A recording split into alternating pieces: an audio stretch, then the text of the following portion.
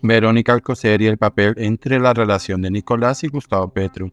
Nicolás Petro habló de cómo su relación con Verónica Alcocer en medio de las investigaciones que se adelantan en su contra.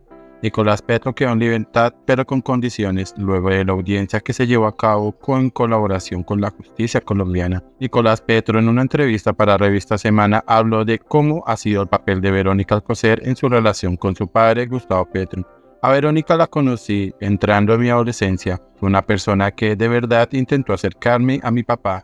Intentó que las relaciones de mi papá con los demás familiares fueran más fluidas de la mejor manera.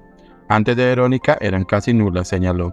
Explicó que han existido situaciones que no han permitido que las relaciones familiares fluyan de buena manera. Ella lo intentó. Hubo circunstancias que no han podido que esas relaciones familiares encajen perfectamente, pero ese ya es otro tema, expresó. Nicolás Petro aseguró que Verónica Alcocer tiene un liderazgo más fuerte.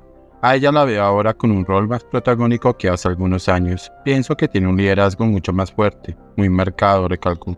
Además manifestó que cree que también ha contribuido a las humillaciones que ha recibido él, su pareja Laura Ojeda y el hijo que esperan.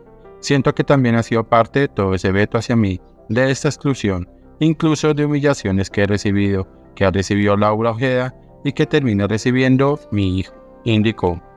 El hijo del presidente Gustavo Petro es investigado por los delitos de enriquecimiento ilícito y lavado de activos tras la denuncia que hizo Dai Vázquez sobre los dineros que habrían entrado en la campaña presidencial de 2022. Es a través de las medidas no privativas que se alcanza esa misma suficiencia para proteger el fin constitucional del peligro a la comunidad, razón por la que no se accede a la detención domiciliaria para el señor Petro Burgos, pero él mismo, para proteger los fines constitucionales, peligro para la comunidad, se dispondrá una previa suscripción diligencia de compromiso.